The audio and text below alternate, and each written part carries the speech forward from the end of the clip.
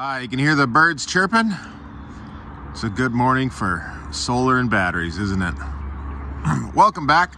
We've got a project we just finished up last evening. I want to share it with you.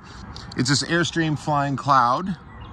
And uh, we actually didn't do solar on it, but we did batteries, uh, solar charger, and a battery monitor. And I want to talk about each of those things real quick. Uh, so here we did the uh, GC2 batteries with the, uh, you can see, it's tough to see back here, the shunt.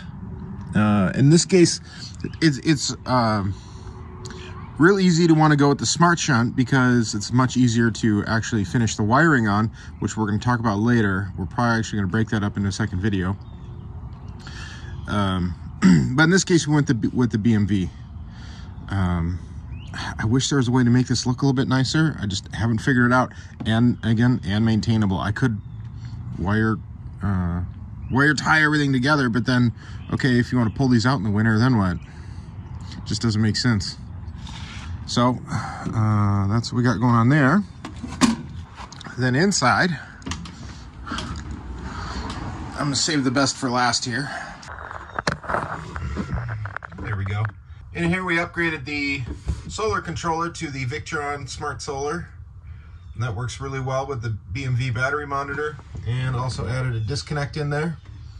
I'm a big fan of having a disconnect because uh, it's just nice to know that the entire system is dead.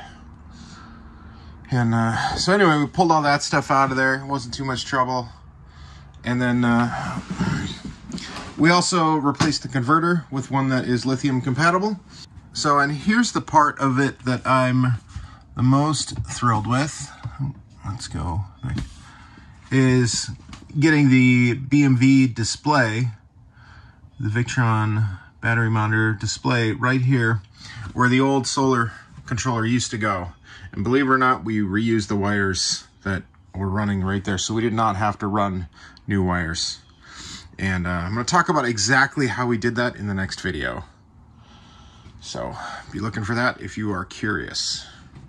Um, but other than that, uh, this project went pretty smooth. Uh, this is one that took probably about a day, maybe a little bit more, but they left it and it was nice to work on it here.